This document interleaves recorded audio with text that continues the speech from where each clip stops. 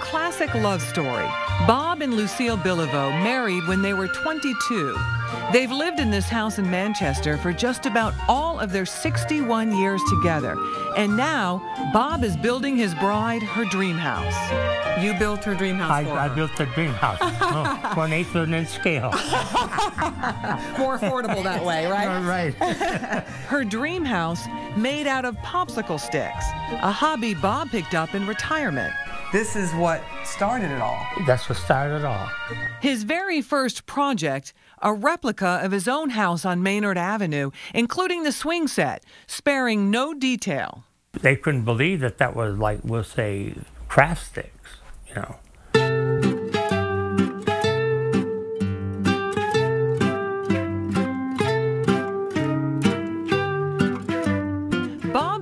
More than 50 houses. None of them are for sale. He's too busy making one for each member of his family four kids and spouses, nine grandchildren, and 10 great grandchildren. Besides, selling them would make it feel like work. To me, it would be like, oh, I'm going to a job, or no, I'm retired, I don't want to work. Bob's turned his basement into his workshop, this is it. Full of tools and thousands of popsicle sticks. By the way, Bob didn't eat all those popsicles. There's a lot of people ask that. I don't know how many times I've said that. If I ate all those sticks, I mean, I wouldn't fit in this chair. you, gotta, you gotta be kidding. He starts with a scale drawing and floor plans. And that's what, that's what I do. I, I go down to that line. He cuts and sands the wooden sticks to look like all types of building materials. Stone for the foundation, Okay, burn it. It makes it look like fieldstone when you stack them up. bricks for chimneys, If I want to imitate brick, these are my bricks. Even smaller. Yeah, and shingles for roofs and siding. I have two kinds of siding. I got clapboard and I got shingles up at the top. He even mills the popsicle sticks for porch railings and window and door trim.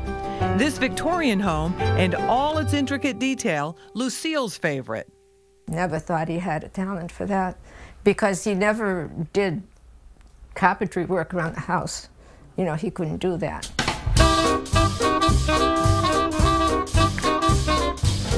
The hardest part, the small pieces and tight spots. There you go. Whoop. Let me get down there. There, way to go. I lost it. It's so small, I lost it. He saved the best for last. This is for my wife and I. This is our dream house. When it's finished, it'll get a prominent place among his other works of art. I think it's great. I think it's beautiful. I'm very proud of him. Very, very proud of him.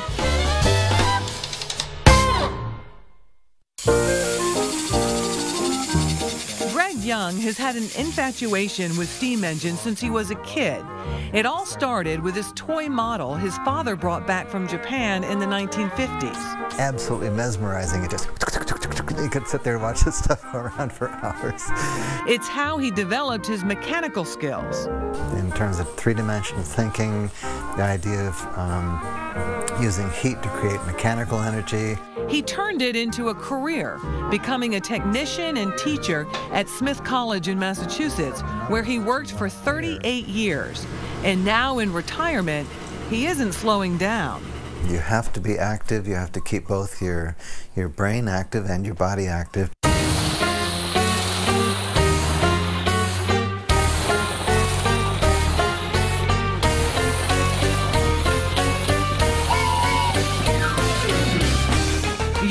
Ago, Greg began building this small scale steam engine from scratch. Now, with more free time, he's finishing it. He purposely created this peekaboo door. If it's closed up like that, and all you can see is a small valve out here for the steam to go in, people have no idea where the steam is going inside the engine. They can't see it work. Right, exactly. Once a teacher, always a teacher. I was really determined actually to try to make a model that was pretty accurately uh, built. Um, I just decided on a one-tenth scale model because then I could measure all the parts on the big engine, simply move the decimal point over one notch and I'd have all the numbers for um, machining a small model. With small parts comes small tools. Check out this tiny, tiny wrench, about the size of my fingertip. Greg made that too. He makes just about all his tools on these big machines in his shop.